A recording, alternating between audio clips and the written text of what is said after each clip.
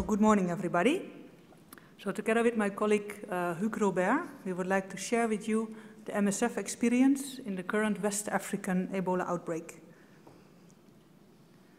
So regarding filovirus outbreaks, MSF has a long history of interventions. And in the last 20 years, MSF has intervened in almost all detected filovirus outbreaks. In 2012, we thought it was a heavy year because there were four outbreaks, of which three in Uganda and one in DRC. But that was nothing when we compare with the situation uh, right now. So how did it all start? Since 2011, MSF uh, was running a malaria project in a place called Guéckédou, that now I think many people uh, have heard about it. It's in the southern part of, uh, of Guinea, bordering Sierra Leone and Liberia. And then March 2014, the Ministry of Health asked MSF for help to investigate a mysterious disease. They sent us a report that our field team sent to us here in Geneva at the headquarters. And in this report, there were 15 um, case descriptions. 15 people were sick, of whom nine di died. They were all family members or health staff, and they were all epidemiologically linked. Symptoms were fever, diarrhea, and vomiting mainly, and only one or two had hemorrhagic symptoms, and one person had hiccup. And when we read this report, immediately we thought of a viral hemorrhagic fever. And the hiccups, we were thinking, hey, that's what we in fact mainly see in Ebola, but that's weird because Ebola has never been in Guinea before.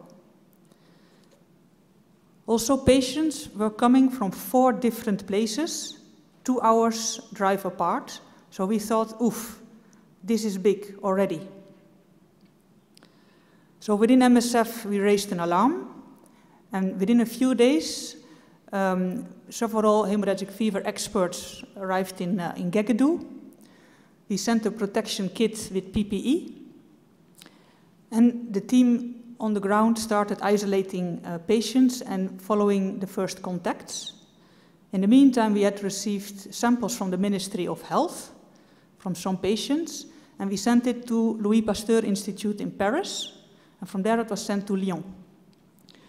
And when the first patients were isolated, that was the moment we received the confirmation that it was Ebola, and two days later that it was Ebola Zaire.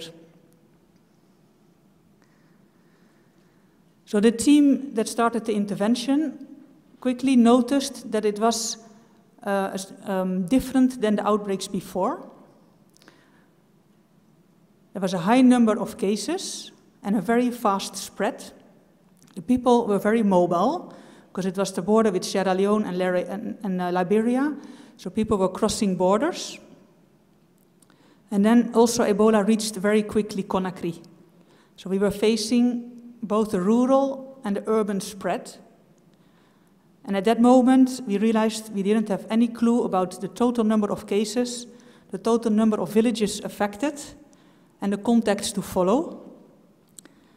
And that led early in the epidemic already of the declaration of MSF that this was an unprecedented outbreak.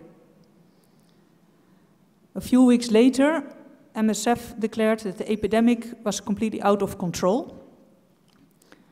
And in week 32, the WHO declared it was that the Ebola outbreak was of public health um, emergency of international concern. So here you see the opening time of the main Ebola management centers. So quickly after the alert, Guéckédou was opened, followed by Macenta and Conakry. And our few hemorrhagic fever experts were diluted over these places, and at that moment the first cases appeared in Liberia, northern part of Liberia bordering with Guéckédou. And we sent a team to train the Ministry of Health and Samar Samaritan Purse that were running the Ebola Management Center. Then in June, cases started to increase in Sierra Leone, and MSF opened a big center in Kailahun. Then Ebola via passenger was brought into Nigeria, And MSF gives support to uh, the Ministry of Health with running the Ebola Management Center. Then two expatriates from Samaritan Purse got infected, and Samaritan Purse decided to stop their activities in Foya, and MSF took over the Ebola Management Center. Then in Monrovia, the situation became very catastrophic and exploded. And MSF took over ELWA 3, which later turned out to become the biggest Ebola management center ever with 250 beds. Then in September, Bo in Sierra Leone was opened, followed by, by a transit center in the Redemption Hospital in Monrovia. And then later on, a big center was opened in Freetown, Prince of Wales, and also a special unit for pregnant women was opened. So MSF interventions were following the six uh, uh, Ebola pillars, isolation and medical care, contact tracing, awareness, health promotion, alert and surveillance system, safe burial, and assuring health access for non-Ebola cases. So this unprecedented Ebola outbreak led to an unprecedented MSF response. So MSF in total intervened in seven countries, Guinea, Sierra Leone, Liberia, Nigeria, Senegal, Mali, and DRC. And in, on the map you can see the, the places of the, of the centers. More than 1,300 international staff were sent to the field and were working shoulder to shoulder next to more than 4,000 national staff. And in total, we had 15, we have been running 15 Ebola management centers, 15 big ones and seven small ones, and transit centers. And more than 8,500 uh, patients have been hospitalized in our centers, of which more than 5,000 confirmed and 2,500 uh, survived. So we, we managed a, a, total of 650 uh, bed capacity with the biggest center uh, in uh, ELWA 3 in Monrovia that had 250 beds. Also new for MSF was to run uh, survivor clinics because um, patients, when they were cured, they started to, to show symptoms of retinitis, arthritis, and mental health problems. So we were running uh, survivor clinics in Monrovia and in Freetown.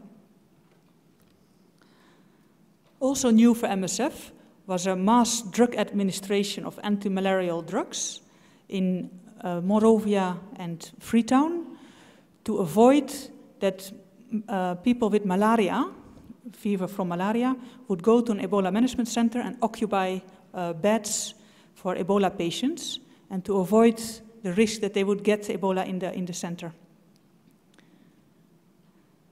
Also, MSF distributed 70,000 uh, hygiene kits to the population in, in Monrovia. A huge knowledge transfer took place in, uh, in Europe and in Africa. So more than 800 MSF staff were trained in Brussels, Amsterdam, and Geneva pre-departure but also more than 500 people from other organizations were trained. And thousands of national staff and expatriates were trained uh, on the spot. Also new for MSF was coaching of other partners during the opening of the ETCs. So this was happening, for example, in Liberia with Samaritan Purse, and in Kenema, Sierra Leone with IFRC.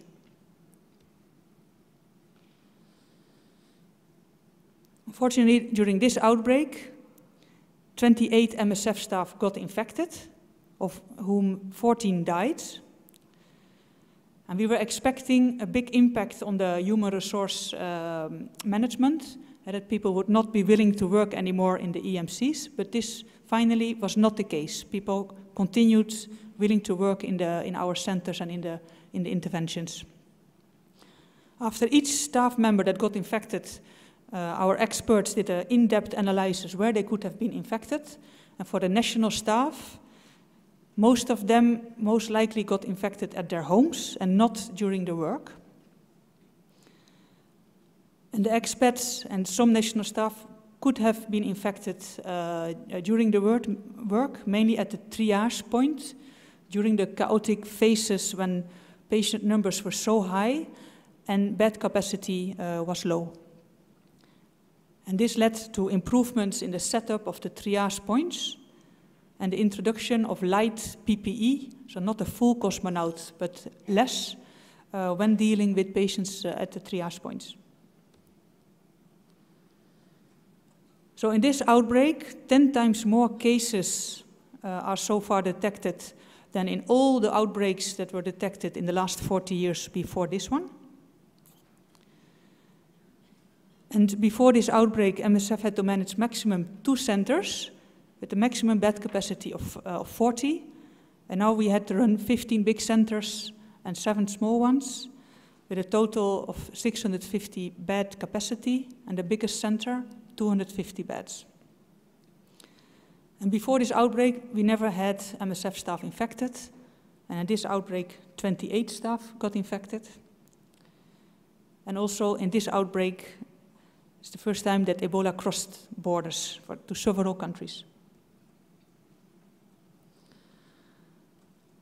So now with getting more and more experience, even with uh, running the EMCs, we, we managed also do some improvements uh, based on the lessons learned. So the triage area got improved. Also in the suspect area, so where patients come with uh, symptoms that could be Ebola, but also malaria, for example, um, and that are waiting for the laboratory results. Um, there we provided individual rooms to avoid uh, cross-contamination cross-infection between uh, patients. Also new was to insert a nursing station that is still in the low risk, there where you don't need to put cosmonaut, into the high risk, where patients uh, confirmed or suspected are managed. So like this, you don't have to put the cosmonaut, but you can see the patients and you can communicate with the patients and with uh, the staff. You can supervise them and communicate with them. And also new was to put a, a low-risk corridor into the high-risk intensive care unit for the same reason of observation, supervision, and communication. So here you see on the picture an example of the individual rooms that were put in Foya, in the northern part of Liberia. And in Foya, in fact, it was the only place, for we don't know what reason, that the outbreak was very quickly under control. It took a few weeks. So this was more a bit the classical intervention, um, like before this outbreak, that the moment the team started to, uh, to, to, work, that within uh, two, three months the outbreak was under control. So this was the only place in this outbreak that so quickly was under uh, control. Here you see a picture of Prince of Wales Ebola Management Center in Freetown, where we were lucky to have a, um, an empty field that we could use to set up our Ebola Management Center. So we could use uh, big tents, Rubb halls, that are uh, less hot than the smaller tents or buildings. And here you see on the left a lady in, uh, just in, in scrubs, so no cosmonaut, no PPE, that can see inside the high risk without exposing herself. The same for the plexiglass corridor into the high risk uh, intensive care. So you can go with your scrubs, you can communicate um, with the staff, you can see the patient, uh, and you can supervise uh, the team. So besides all this intervention um, uh, strategies, MSF also participated in clinical trials for experimental treatments, favipiravir, brincidofovir, and convalescent plasma. And also we are uh, participating in a vaccine trial for healthcare workers uh, in Guinea. Now I would like to give the word to my colleague, uh, Hugues Robert. So I will try, try to quickly uh, bring to you a bit some of the lessons learned uh, we have uh, learned from this epidemic. Uh, definitely, I think MSF um, also had faced some difficulties and then we had some also gap and weakness in our response. Uh, the first of them, I think maybe the most important one, was that uh, while we had a team in place in Guéckédou for three years, we failed also to recognize and identify early that there was an initial problem in the, in the county we were working in. Uh, that show I mean the difficulties of uh, you know keeping kind of team alert and prepared for unknown outbreaks. Uh, initially, I mean the response wa was very quick, but uh, definitively there was uh, large difficulties for within MSF to, to scale up in May in both Sierra Leone and uh, Liberia. I mean uh, when we saw the, the previous curve of epidemics, I mean we can see that the month of April was quiet and somehow there was a big increase in May where we were also struggling to, to scale up on time. Within the movement of MSF, it was not that easy also to mobilize people. I mean, uh, many uh, colleagues, doctors also face difficulties to commit for this outbreak, saying that there was anyway no treatment available for, for patients. They were not seeing necessarily the, the, the biggest added value they could bring. So in that sense, I think um, we can see that, I mean, even within MSF, we face also difficulties to convince people. But um, also, I mean, compared to other, I mean, natural disaster response or, let's say, war, uh, war-related response, I mean, uh, it was very difficult for us to get the right resources to commit and come to work uh, in this particular context. And as uh, Esther also mentioned, I think uh, we are very uh, cautious in the way we will uh, we were approaching the, the, the response because also we have some uh, internal fear that if there will be any casualties or deaths among our staff or people infected, we were feeling that we may face huge difficulties to even commit more, more, more resources to go in this country. So we were quite trying to be over cautious on the initial months of the intervention. No, regarding the, the general, I mean, the overall response uh, by the aid system and also the countries involved, I think uh, what we have seen is definitively for the first four to five months of the outbreak, uh, very uh, limited uh, response by, uh, by actors. I mean, most of the actors were, I mean, fearing to come and were, were, reluctant even to, to commit. I mean, and there was serious gaps in, in the whole UN WHO system. I mean, most of it, I think, I mean, um, many people have already read, read about it. I mean, there was many people downplaying the gravity of the crisis, which led also to, to delay in the, in the response. Uh, I mean, uh, on the second part, I would say uh, once finally WHO declared uh, the outbreak on the international proportion, um, then and then definitively when there was uh, our colleagues of Samaritan Purse who were infected in, in Liberia, I mean, there was a change in the reaction of the international community. But on the second phase of the response, I mean, uh, the large number of people being dispatched in the, in the countries uh, were not necessarily providing what was expected from them. I mean, um, to be honest, I mean, uh, MSF was the first to call for uh, intervention of, of um, international community, and we were quite quite keen to recognize that we didn't have the expertise to, to deal with such proportion and uh, size of epidemics. But what we, we got finally, I mean, um, listened by, by people, what we, we faced in the field was uh, definitively a, a response that was far too late, far too small, lacking flexibility to adapt to the, to the evolution of the, of the outbreak. Um, MSF was asking for people with capacity to take care of people hands-on. I mean, there was hardly any FMT or foreign medical teams in place before late in 2014. Um, the early dispatch of the FMTs in Liberia, I mean, uh, finally arrived once the outbreak was already getting down. Same for Sierra Leone. I mean, finally, uh, foreign teams were getting there to implement and take care of patients somehow, I mean, the outbreak was, the curve was already uh, going down. So we cannot even prove that this intervention was really playing a key role on the, on the outbreak transmission. What we realize also is that what may explain also the, the, the large scale of, of, uh, of this, uh, this outbreak was that most of the basic healthcare facilities from the primary healthcare system to the secondary level hospital were not having in place basic, uh, basic um, IPC uh, precaution in place. Um, which explain, I mean, uh, somehow the, the, transmission of the, of, of, of, the disease. I mean, the hospital health centers in, in these three countries become incubators and somehow facilitate the transmission uh, of, of the disease and then created somehow a biggest monster. So that was what was identified very early on the outbreak.